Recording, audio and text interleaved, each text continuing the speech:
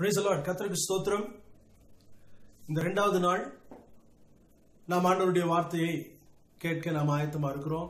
சனிக்கிழமை நிறைய பேருக்கு கிழமையே மறந்து போச்சு.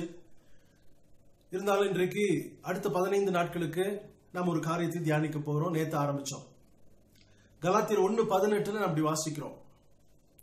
In Galatians chapter one verse eighteen we read like this that Paul, after his conversion, went and stayed with Peter for 15 days.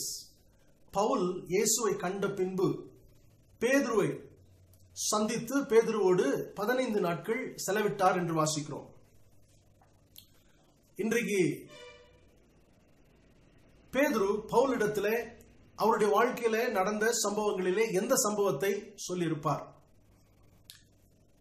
பேதுரு சொல்ல ஆரம்பிச்சார் பவுல் கிட்ட ஒரு நாள் நான் கரையிலிருந்து வலைகளை கழுவி கொண்டிருந்தேன் Peter would have started like this. One day I was on the seashore washing my nets. And I noticed a lot of people on the shore. Unusual crowd. அப்பொழுது கரையில ஒரு பெரிய கூட்டம் மக்கள் இருந்தார்கள் ஒருவர் அவர்களுக்கு உபதேசம் பண்ணி கொண்டிருந்தார் அப்ப எனக்கு யாருன்னு தெரியாது ஆனால் கேட்க கேட்க அவருடைய உபதேசம் ரொம்ப வித்தியாசமா இருந்துச்சு but as I was listening to his preaching, he was very different. His preaching had authority. அவருடைய பிரசங்கத்துல ஒரு அதிகாரம் இருந்தது. ஆனா ஆச்சரியமான காரியம் என்ன? திடீர்னு அவர் என்ன பார்க்க ஆரம்பிச்சார். Suddenly he look at me and said I want use use boat திடீரென்று அவர் என்னை பார்த்து நான் உன் படகை பயன்படுத்த வேண்டும் என்று சொன்னார். லூக் ஐந்தாம் அதிகாரம் மூன்றாம் வசனத்திலே இதை வாசிக்கிறோம். அப்பொழுது அந்த படகுகளில் ஒன்றில் ஏறினார். அது சீமனுடையதா இருந்தது. அதை கரையிலிருந்து சற்றே தள்ளும்படி அவரை கேட்டுக்கொண்டு அந்த படவிலே உட்கார்ந்து ஜனங்களுக்கு போதகம் பண்ணினார். Getting in to one of the boats which was Simon's he asked him to put out a little from the land and he sat down and taught the people from the boat. என்றைக்காவது யோசிச்சிருக்கிறீங்களா ஏன் சீமோனுடைய படகை ஆண்டவர் தெரிந்து கொண்டார்? அந்த கடற்கரை நிறைய படகுகள் இருந்திருக்கும். ஆனால் சீமோனுடைய படகை மட்டும் தேவன் தெரிந்து கொண்டார். There were so many boats on the shore but jesus chose the boat of Simon இதை ரொம்ப சந்தோஷமா அவர் பவுலிடத்துல சொல்லி கொண்டிருந்திருப்பார்.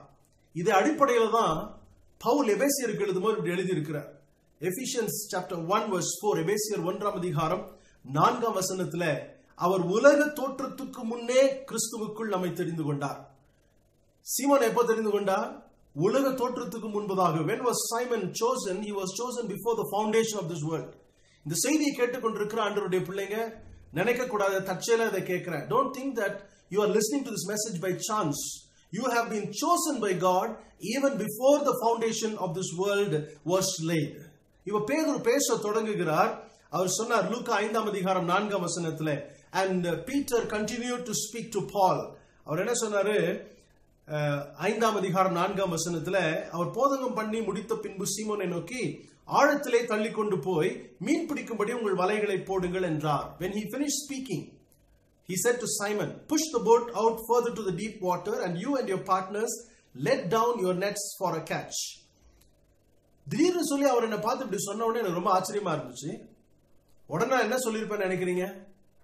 I was surprised when jesus told me to push the boat into the water and fish again. You know what i told him? லூக்கா ஐந்தாம் அதிகாரம் ஐந்தாம் வசனம். அதற்கு சீமோன் ஐயரே ரா முழுவதும் நாங்கள் பிரயாசப்பட்டும் ஒன்றும் அகப்படவில்லை. And Simon answered master we work hard all night trying to catch fish and got nothing hard work result zero கடினமான உழைப்பு ஆனால் ஒன்றுமே கிடைக்காத ஒரு சூழ்நிலை. ஒரு காரில் இப்படி ஒரு ஸ்டிக்கர் நான் பார்த்தேன்.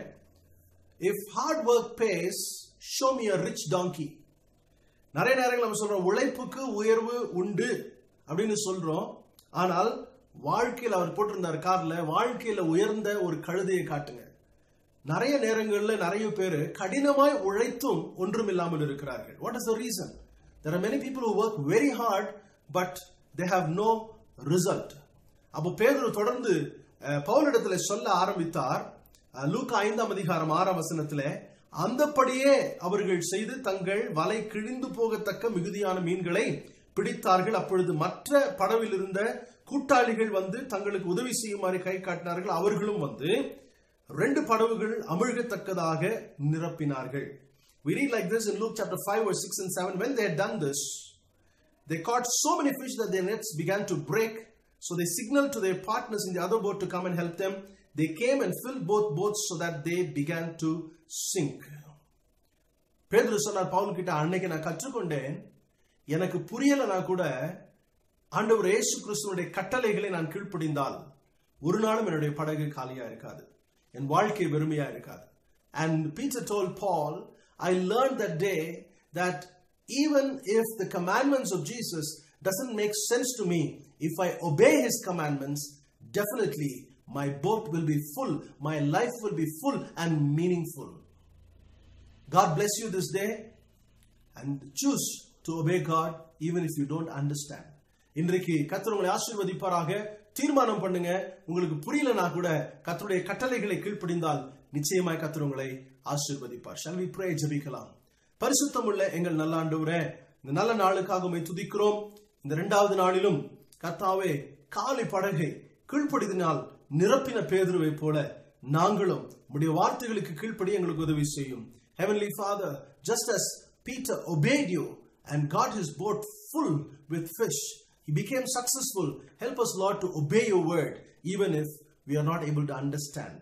And thank you for choosing us, எங்களை தெரிந்து கொண்டதற்காக உமக்கு ஸ்தோத்திரம் இயேசுவின் நாமத்தில் ஜெபிக்கிறோம் நல்ல பிதாவே ஆமேன் ஆமேன்